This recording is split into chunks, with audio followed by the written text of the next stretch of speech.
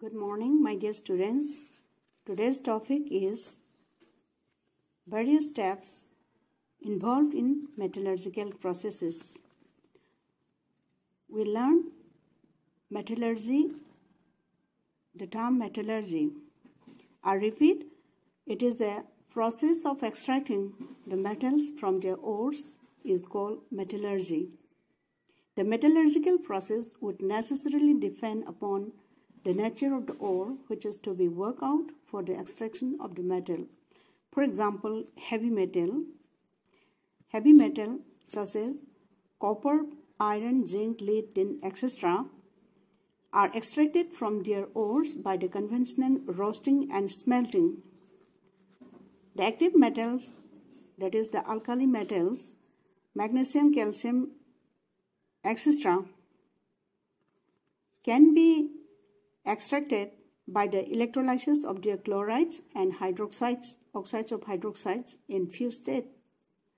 And the noble metals such as silver and gold are obtained by the amalgamation or cyanide process. The next is various steps involved in the metallurgical processes.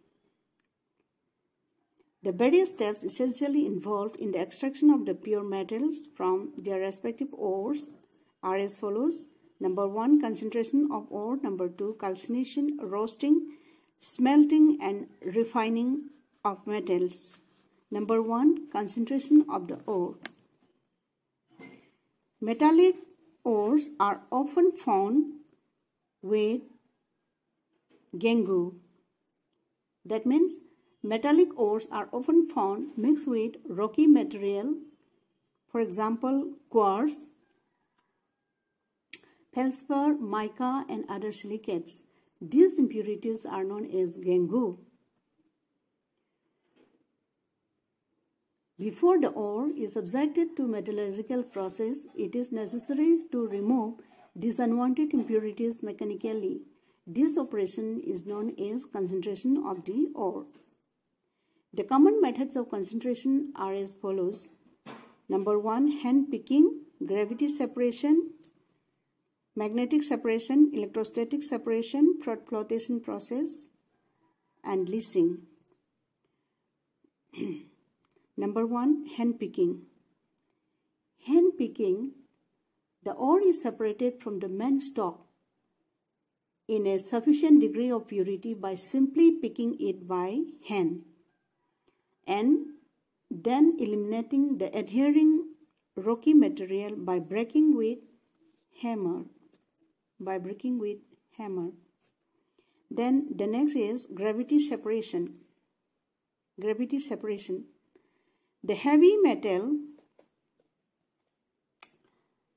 in this case the ore is uh, the ore is crushed and grind and is washed with a running stream of water, the heavy ore R settles down and while the lighter earthy material, that is the impurities, is washed away.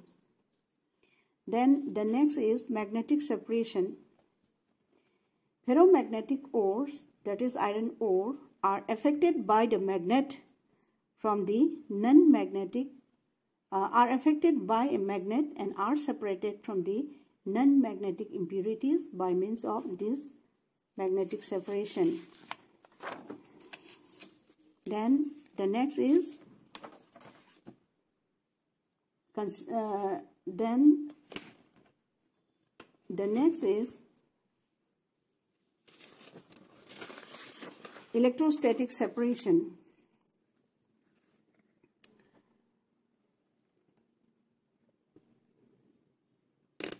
Electrostatic separation. In this method,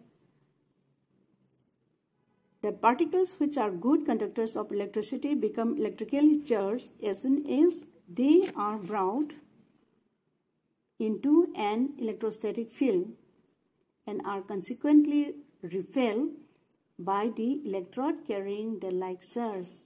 Galena and zinc are uh, galena and zinc blende which occur together in nature are separated by this technique. The next one is Froth flotation. This process is based on the principle of preferential wetting of solids by liquids. In this case, metallic sulfide are wetted by a certain oils like pine oil,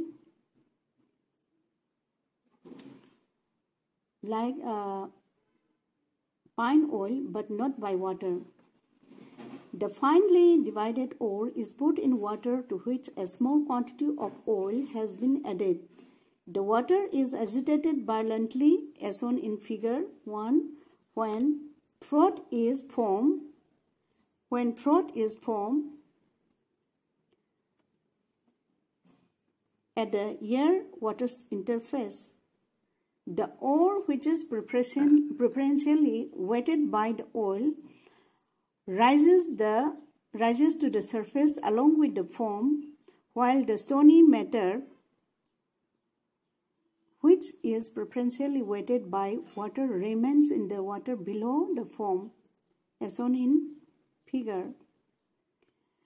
The foam separates out and in due course settles down and this process is called froth flotation process. The next process is leaching. In this case, in this method, the powdered ore is treated with some suitable reagent which may dissolve the ore and not the impurities. The impurities are filtered off and the ore is recovered from sorry from the solution by suitable chemical methods.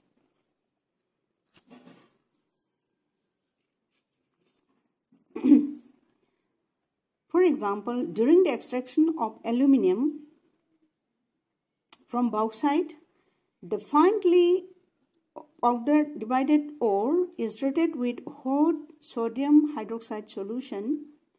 Alumina present in the ore dissolves forming sodium meta-aluminate, but impurities are left behind as such and are filtered off. Then one of the steps of metallurgical process is calcination.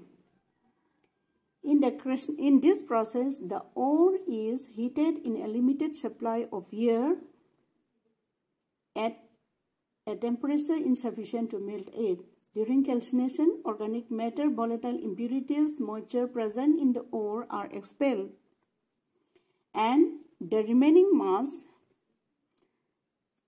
the remaining mass or porous that is the uh, mass becomes porous then the remaining mass becomes porous calcination is also done to remove water from hydrated oxide ores and carbon dioxide from a carbonate ore then another example is lime when limestone is heated when limestone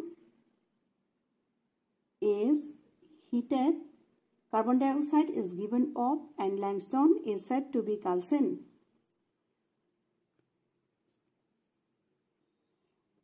Water is removed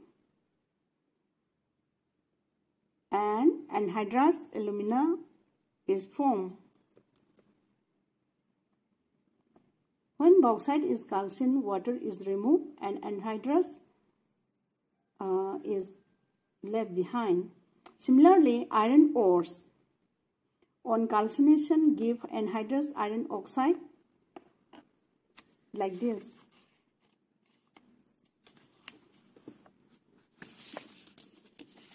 Calcination is generally done in a reverberatory furnace. Then the third step is roasting. In this process, sulfide ore, either alone or with the addition of other materials, are subjected to the action of heat in the presence of air at temperature well below their melting point in order to bring about their oxidation. And the reaction occurs such as follows. Sometimes during roasting, oxidation of sulfide takes place only upon sulfates. For example, zinc sulfide is oxidized to zinc sulfate and lead sulfide is oxidized to lead sulfate. During roasting, the non-volatile impurities like sulfur, argon, phosphorus, etc. are removed in the form of their volatile oxide which escape as gases through the chimney.